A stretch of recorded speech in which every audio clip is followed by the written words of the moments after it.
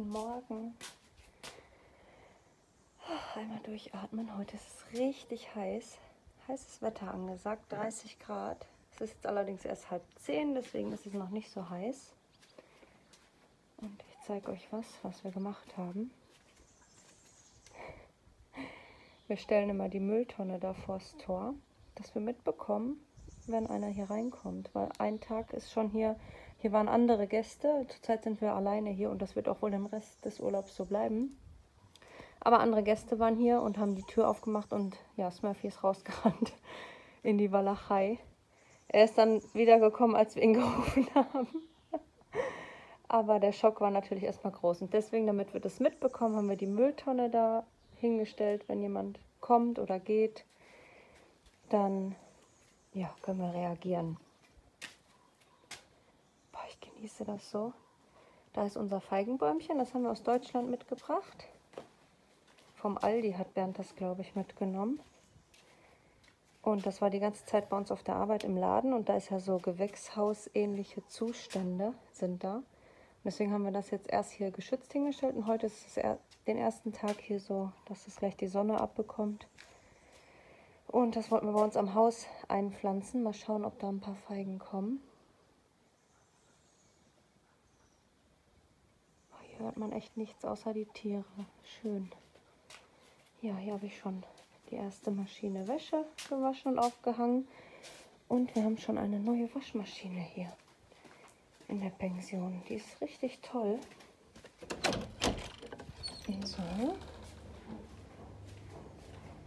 euch die. Habe ich mich sehr gefreut. Eine Waschmaschine. Damit kann man mich glücklich machen. Ich habe da schon jetzt die Betten abgezogen. Gerade. Also nur diese Spannbettlaken und die wasche ich jetzt. Dass die einmal sauber sind. Ja. Smurfy, was machst du? Hm?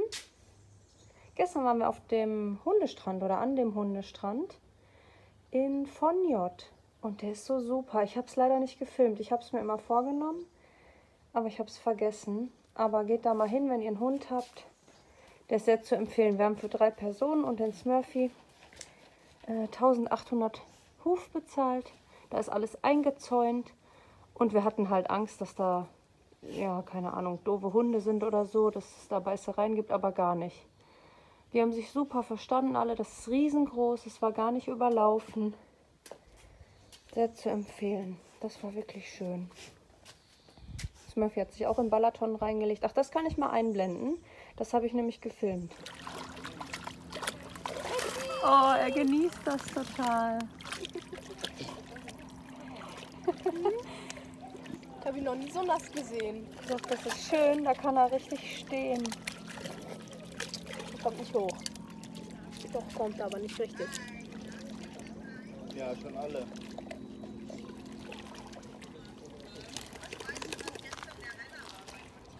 Was? Weil der ist ja eigentlich wasserscheu. Der mag nicht so gerne Wasser, aber das fand er dann doch recht erfrischend. so einmal so hat er sich da reingelegt. Ja, und ich bin alleine heute hier an der Pension. Bernd und Calvino, die machen ein Männerabend, äh Männerabend, Männertag. Die sind nämlich nach Salakaros oder Zalakaros oder wie auch immer das heißt, in dieses Erlebnisbad gegangen. Da sind ganz viele Rutschen und das soll ganz toll dort sein. Es hat mega gute Bewertungen und da sind die heute schon ganz früh losgefahren. Und ich bleibe hier in der Pension. Ich war jetzt erstmal schön duschen, ganz in Ruhe und habe mich eingecremt und ich hatte mir neue Sachen geholt. Ähm, den Tag, ich brauchte unbedingt neue Unterwäsche, größere, weil mir passt nichts mehr, weil der Bauch jetzt halt logischerweise immer größer wird. Ich habe mir so Oma-Schlübbis geholt, die so bis über den Bauch gehen und die sind so gemütlich. Das tut so gut. Habe ich mir jetzt einen angezogen. Voll toll. Ähm, solche hatte ich auch bei Calvino in der Schwangerschaft. Und die sind so schön. Ja, und ja, ich habe halt Wäsche gemacht, dann beziehe ich gleich die Betten und ähm, feg einmal durch. Halt so ein Hausfrauentag, dass alles ordentlich ist. Wir bekommen nämlich heute Abend Besuch. Wir machen eine kleine Grillparty.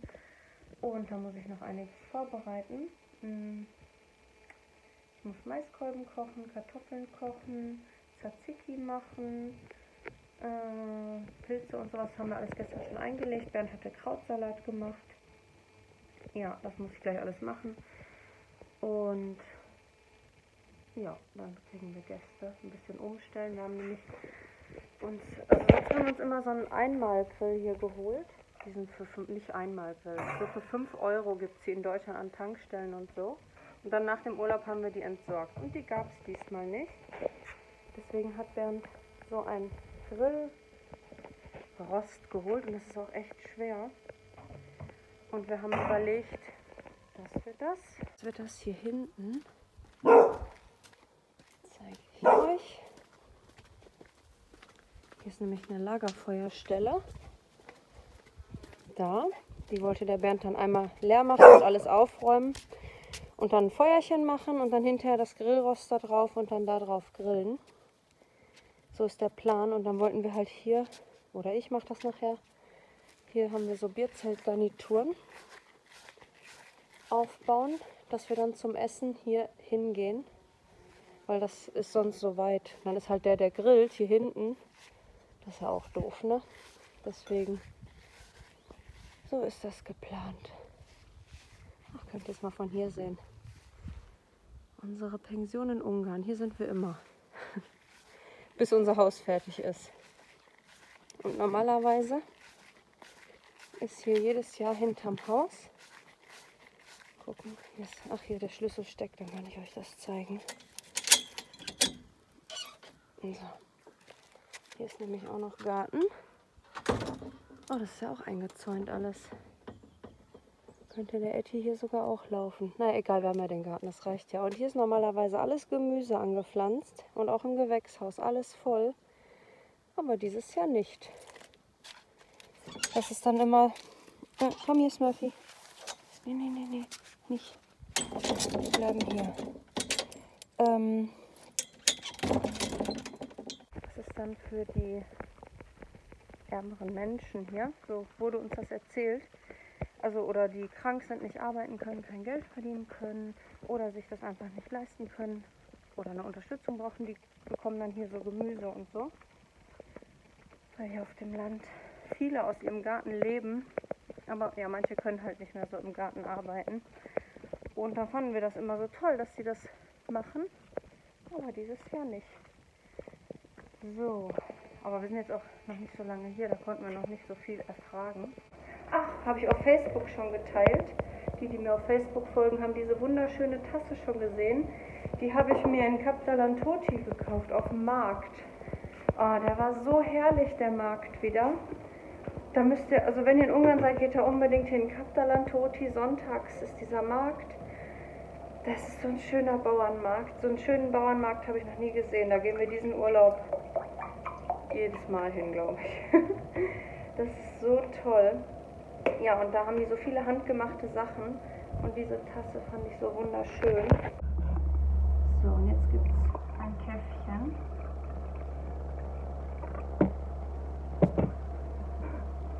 Das ist die Murmel. Baby geht's auch gut. Alles wunderbar. Ich muss euch mal ein Schwangerschaftsupdate drehen, ist mir heute eingefallen. Kaffee ist kalt. Egal. Eiskaffee.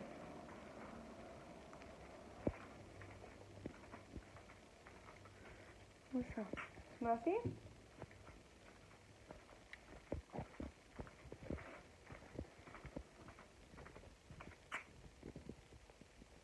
Er vermisst Herrchen und Calvino.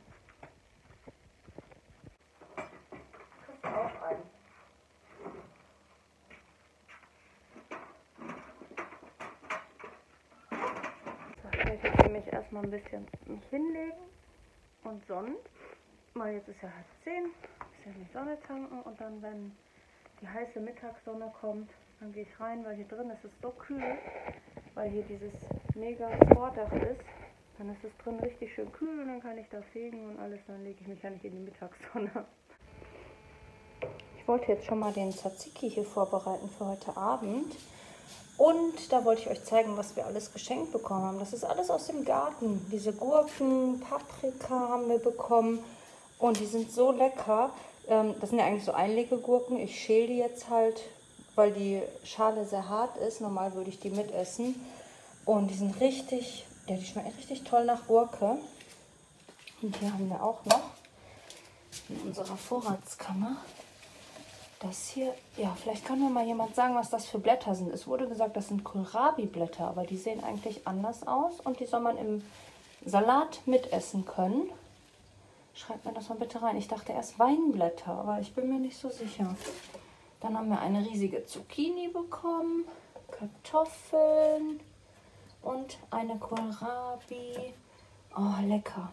Total toll. Da habe ich mich richtig gefreut. Und das hier sind, ähm, ja, das hatte der Bernd noch eingekauft. Zwiebeln haben wir auch bekommen aus dem Garten. Die sind jetzt aber schon verarbeitet alle. Und hier holen wir, wenn wir einkaufen gehen und Kartoffeln kaufen, holen wir immer diese roten Kartoffeln. Die mögen wir besonders gerne. Und die koche ich hier auch gerade schon mal vor. Die gibt es heute Abend nämlich aus dem Grill oder halt aus der Kohle.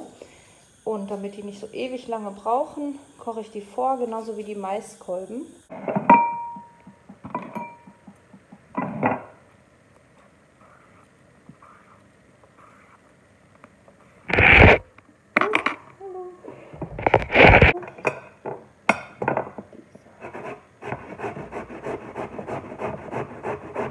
Ne, das wird Brei. Aber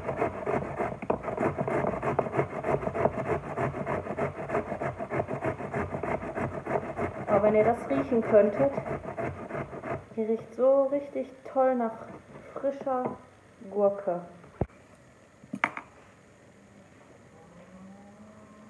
Habt ihr die Kuh gehört? richtig toll. Äh, wir waren gestern hier spazieren mit dem Smurfy. Und ähm, ja, dann wurden die Kühe von einer Weide zur anderen getrieben. Ja, und wir sind natürlich stehen geblieben, haben zugeguckt. Das sieht man nicht alle Tage, also zumindest nicht da, wo wir herkommen. Ja, total toll. Sorry, dass ich euch immer einen vorschwärme, aber ich finde es hier echt richtig schön. Und ich bin immer traurig, wenn ich wieder abreisen muss. So. Ja, jetzt ist das Murphy aufgewacht.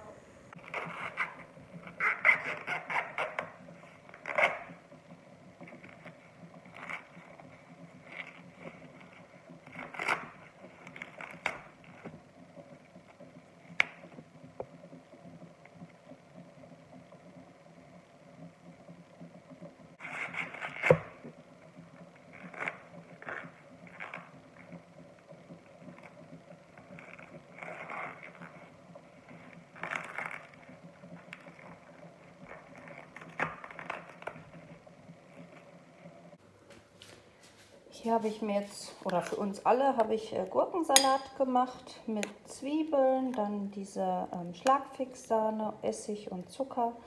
Und hier sind ein paar Gurkenscheiben mit, mit äh, Schale, die sind noch vom Frühstück. Die habe ich jetzt einfach mit da reingeschmissen.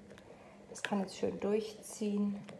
Und hier ist der Tzatziki, der kann auch schön durchziehen bis heute Abend. Ja, und den Mais bereite ich schon mal vor.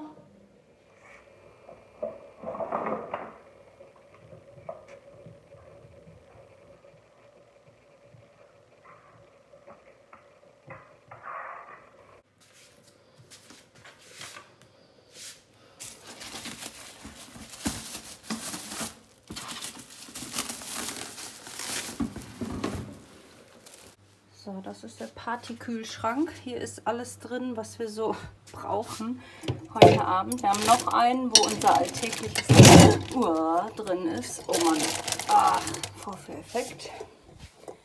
Aber so kann ich es euch besser zeigen. Hier haben wir Zucchini und Champignons und Zwiebeln eingelegt in Sojasauce und Gewürze und Öl und alles Mögliche. Das kommt heute Abend auf den Grill. Jetzt muss ich hier wieder alles richtig machen. Und hier befindet sich der Krautsalat, den der Bernd vorbereitet hat. Der ist schön in Öl und Zucker und alles Mögliche eingelegt mit Zwiebeln und Paprika. Und dann gibt es nachher Krautsalat. Und hier habe ich mir halt einen Teller schon hingestellt, weil ich muss den natürlich jetzt probieren. Den hat der Bernd gestern Abend schon gemacht. Beziehungsweise wir beide. So.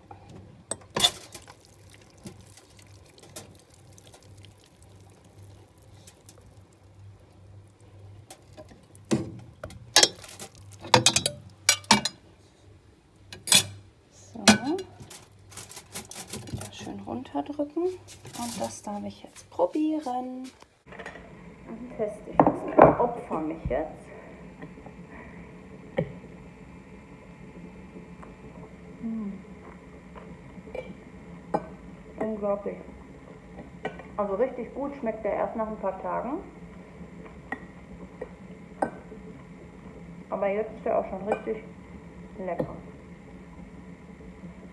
Wie vom Griechen. Und so schnell gemacht.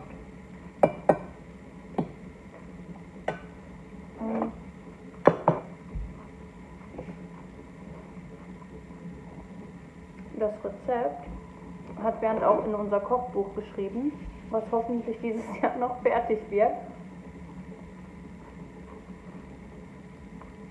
Ihr dürft gespannt sein. So, ich teste jetzt mal hier das Essen. Ich habe mir schön eine Kartoffel mit Tzatziki gemacht und noch etwas Gurkensalat und dann probiere ich das erstmal alles hier. Und der Bernd hat sich gerade gemeldet aus dem Schwimmbad und die sagen, das ist total super da. Da gibt es also alles zu essen, Langosch, alles mögliche. War gestern am den Hundestrand, wo wir waren. Da gab es nur Hot Dogs und wir wollten eigentlich eine Pommes dort essen, hatten nicht so viel Essen mitgenommen und haben dann etwas gehungert. Aber war jetzt nicht so schlimm. Wir hatten halt ein paar Brötchen dabei und sind dann nach viereinhalb Stunden oder so wieder abgehauen. Aber in dem Schwimmbad in Zalakaros, da gibt es alles, hat er gesagt. Pommes und Langosch und Burger, alles Mögliche. Und das ist super toll. Calvino freut sich und die haben jetzt gerade Pause gemacht und ein paar Brötchen gegessen. Jetzt geht es wieder los mit dem Rutschen. Und das ist drinnen und draußen und Turborutschen, die erst ab 12 sind oder, weiß ich nicht, 30 oder 50 Kilo. Da geht Calvino noch nicht drauf, sagt er. Da wartet er noch bis nächstes Jahr. Und ähm, Bernd wollte jetzt ein bisschen filmen, dass ihr auch was sehen könnt.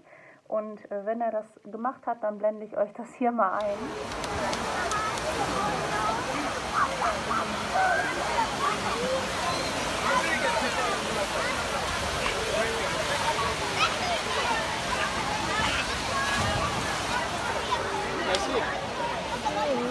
Blatt.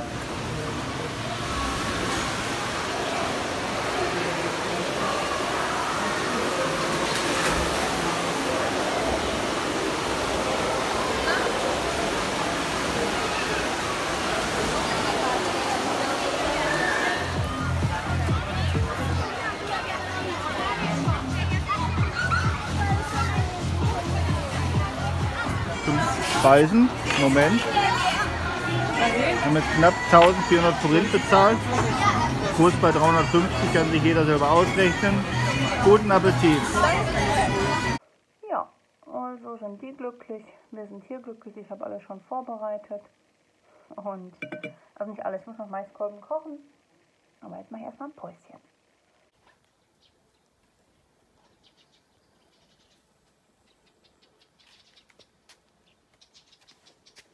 Sind so viele Insekten. Das summt hier unglaublich. Ich weiß nicht, ob ihr das hören könnt.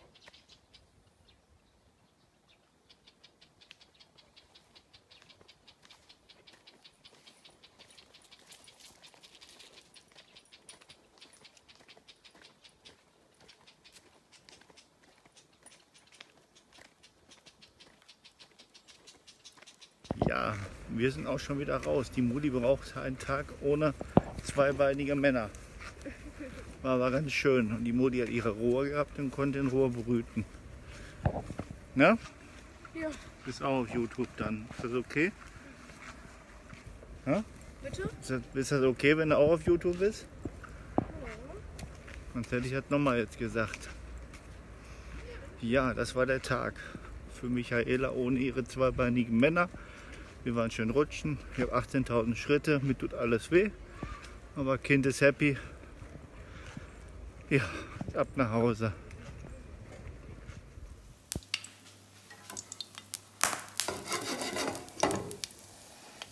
Ich mache jetzt hier den Test Nahenbrot. ob die Würz Gewürze reichen, ob es schmeckt. Und ja, deswegen mache ich erst ein und dann kann ich zur Not noch nachwürzen. So sehen die dann aus. Und ja, ich probiere das jetzt mal, wie das schmeckt. Die sind sehr, sehr heiß, wenn die so frisch aus der Pfanne kommen, weil die ja im Öl ausgebacken sind. Es ist so lecker. Ich liebe dieses Brot. Das Nahenbrot. Mm, Normal wird das mit Joghurt und Ei gemacht und ich habe es einfach veganisiert. Das ist so lecker. Mm, Mit Kräuterbutter oder Pflanzenkräuterbutter machen wir ja. Und ähm,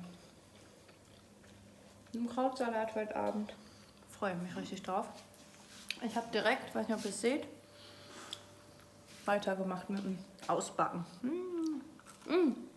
Und die Männer haben sich gemeldet, die sind auf dem Rückweg. Die kommen jetzt. Macht ihr schon Feuer? Okay. Achtung, die Kamera läuft. Nicht, dass ihr wieder falsche Sachen sagt. Das ist doch egal. Ist egal. Du wirst schon nicht gestrikt, weil deine anderen Videos sind so nett und lieb.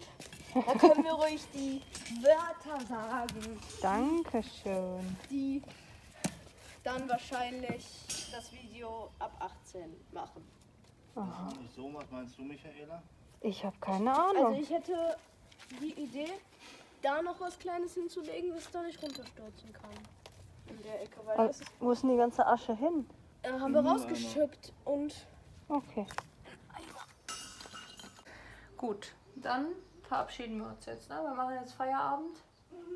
Kommt auch gleich unser Besuch. Oh, wir haben aus einer Million Dinger wurden drei Leute von Amazon Choice herausgesucht. Wir müssen wir draufklicken und eine Umfrage. Drei Leute nur aus ganz Deutschland. Wir sind auf Platz zwei. Oh. Oh, ja, wenn wir Platz 1 wären, das wäre echt auffällig. gelöscht. Hinterher war das wirklich. Ja, klickt da drauf, selbst wenn. Ja, okay. Also, wir danken euch fürs Zuschauen und im letzten Video wurden wir gefragt, ob wir das Haus zeigen. Machen wir morgen wahrscheinlich, ne? Morgen fahren wir zu unserem Haus und zeigen euch das mal, Ja. wie es da so aussieht. Okay, dann einen schönen Tag, Abend und bis zum Und ich nächsten wollte Mal. auch noch Tschüss sagen. Bye, bye. Ciao.